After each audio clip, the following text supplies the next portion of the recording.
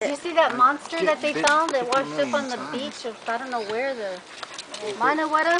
Oh. What's that monster, Brett that washed up on the shore? It's not real. You know, what was it? I'm claustrophobic. Brett, what's that monster? That monster? Where, where did it wash up on?